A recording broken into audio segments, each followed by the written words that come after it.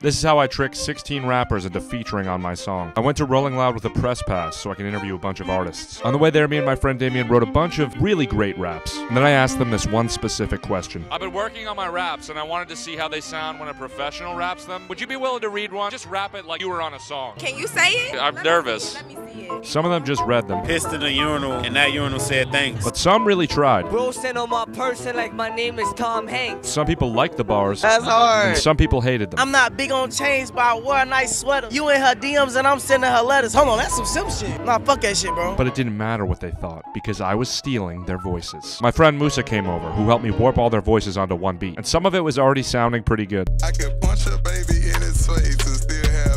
Next, I booked studio time so I could rap on the song, but I learned the hard way that I cannot rap. So I decided to play more of a DJ Khaled role and just add a few ad libs. It took weeks to Frankenstein it all together, but now I have a song and music video featuring 16 great artists.